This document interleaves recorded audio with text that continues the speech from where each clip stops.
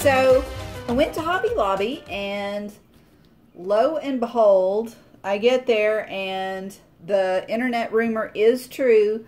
Liquitex heavy body paints are like severely reduced. Uh, I think 70, I haven't done the math, a lot, reduced a lot. So I got several colors and I decided I would try a pour. I've used, each of these is a two ounce tube and I've used all of them. And it's six colors. So I've got two transparents, a quinacridone red, and a Van Dyke red. And then I've got iridescent copper. These are the opaques, these four.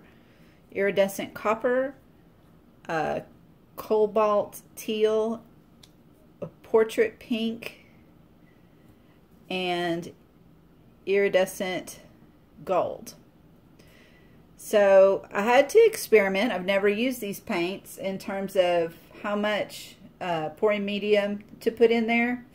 And what it ended up being is a ratio of 1 to 1 to 1. So I had 2 ounces of paint, 2 ounces of pouring medium, and 2 ounces of watered down pouring medium. What I call a thinning solution, which is about, I mix it in big jugs.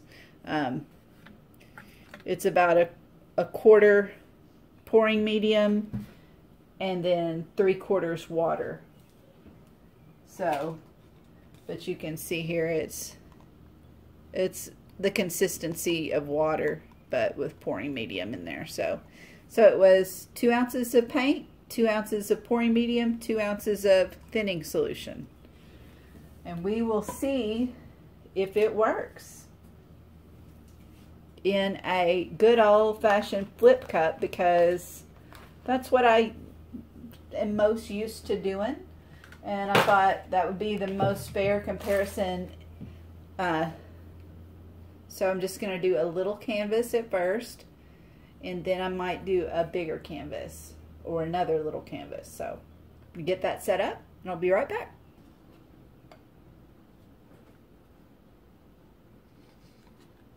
And I'm gonna layer them in there remembering you know being aware of what's transparent and what's opaque. I'm not gonna I don't think I need this whole cup. I don't know transparent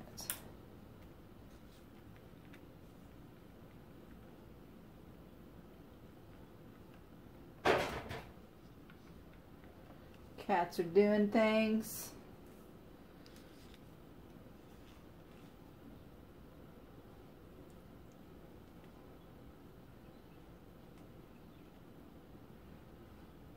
A lot of pink because I never use pink, so why not?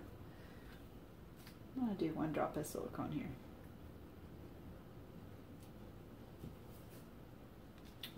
I'm going to drop a transparent down through it and then layer it. Now we're back to blue.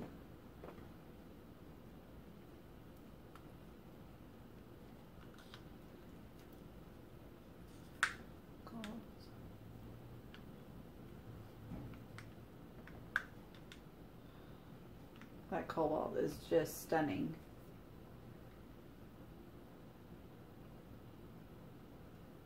kind of lumpy there.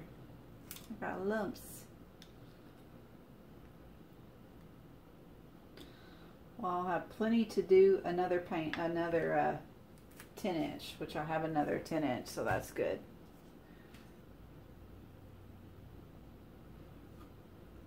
Oh, that kind of, I always take it across like this because I want to add some kind of interest across these big color fields. Oh my goodness gracious. Is there a glare?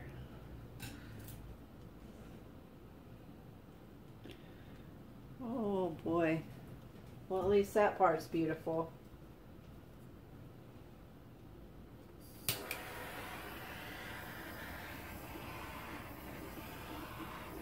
Hello, beautiful cells. You worked.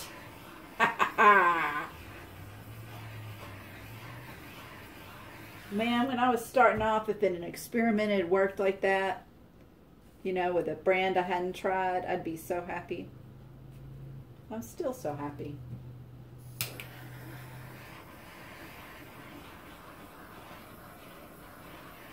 we go. Oh, that's gorgeous.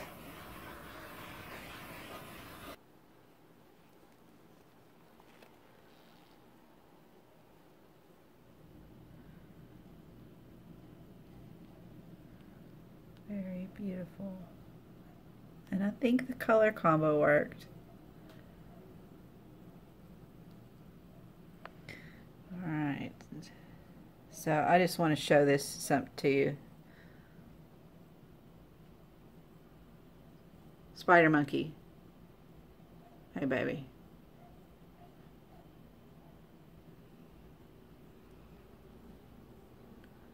Snap hammer.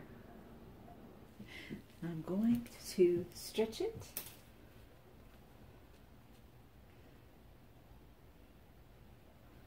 There is plenty of paint on here. I do the, I kind of wet down the corners a little bit as I go, um, so it'll slide. A lot of people do the, wet the whole canvas to get the whole, uh, put a primer layer down on everything which is a good idea. But this works also.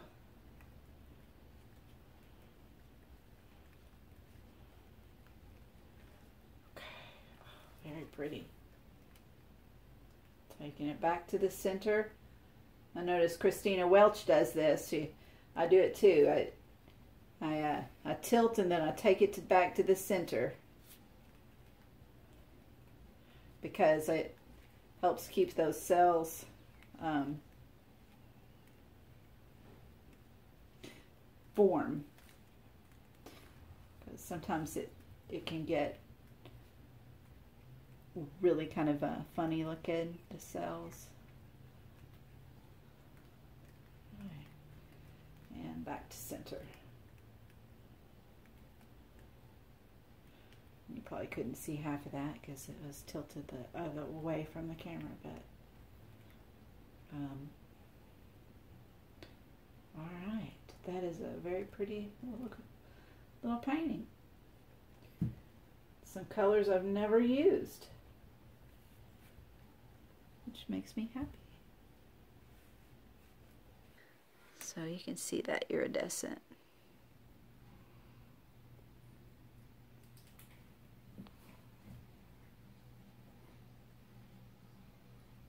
Is very pretty.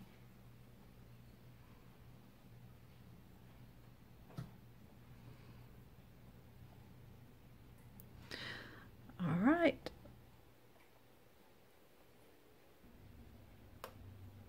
Starting with pink this time because that is really pretty stuff. Um,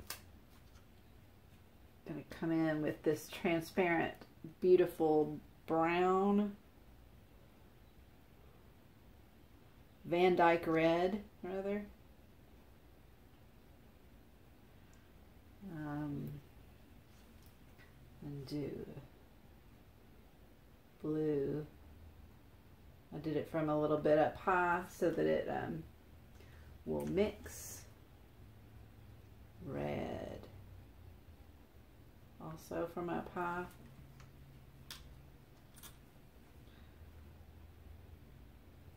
Was gold and I said red.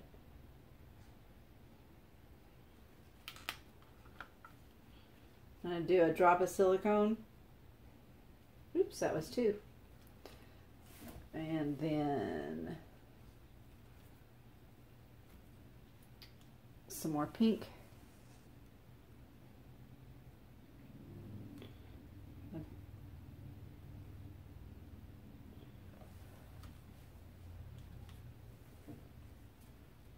some bronze.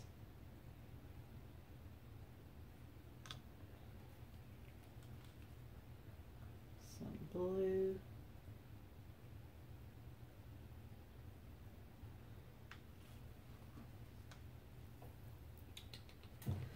A little bit more gold. Ooh, hello. More pink because pink and see how much paint did I have left over. Okay, I think we're we're gonna have a little red.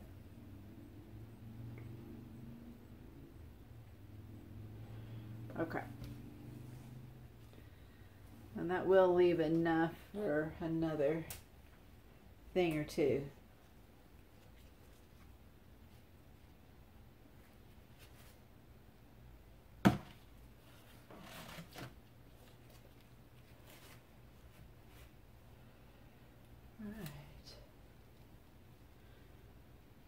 I'll use this to wet the corner. I've got all this paint I can use to slick up the corners.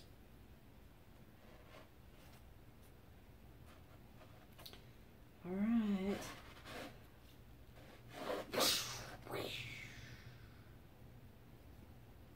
That's pretty. I always do sound effects on the opening of the flipping of the cup. Where's my torch? Hello? There you are. Tell it's that pink's gonna have some nice, hopefully, cell action. Oh yeah, right in the middle.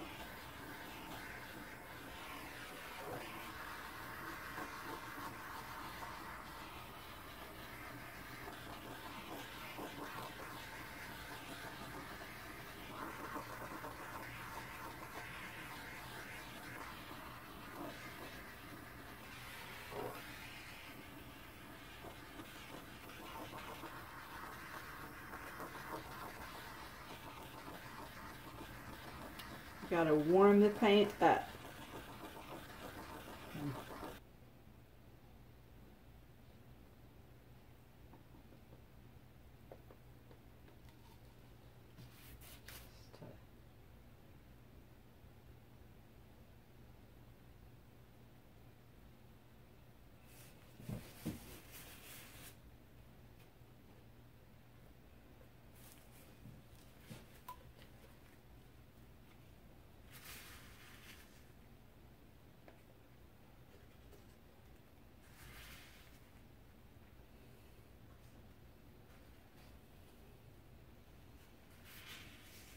This paint is beautiful, I will say that.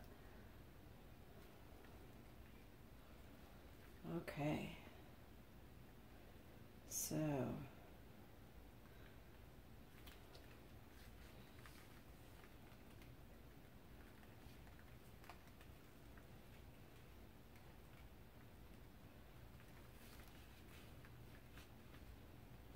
It just kind of moves more fluidly.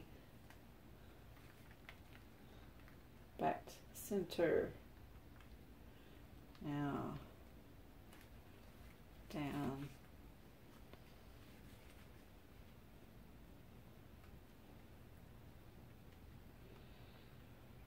The other one's a little more pink, or the, the other one's more blue, and this one is more pink.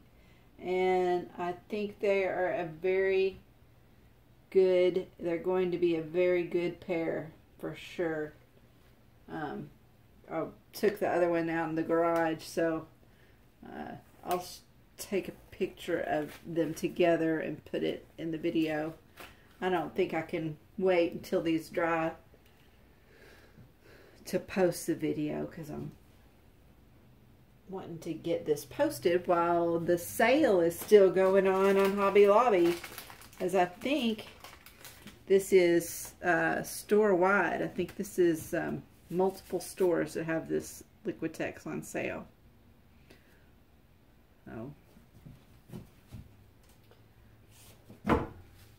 And that won't last long. And it's uh, beautiful paint to work with. And it's kind of like treating yourself like to a spa day or something.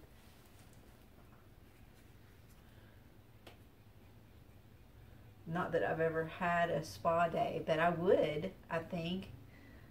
I just, there, well, no, I probably wouldn't. there are so many things that I want to do. Spa day is not up there. paint. Paint is up there. Golden fluid acrylics before spa out every day of the week.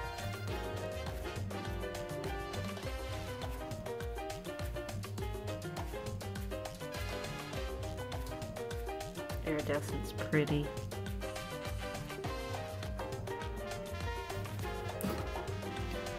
All right. Well,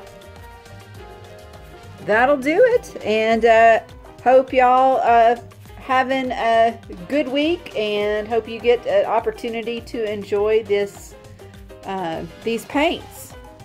So anyway, if you like this video, please give me a thumbs up and say hi in the comments and subscribe to my channel.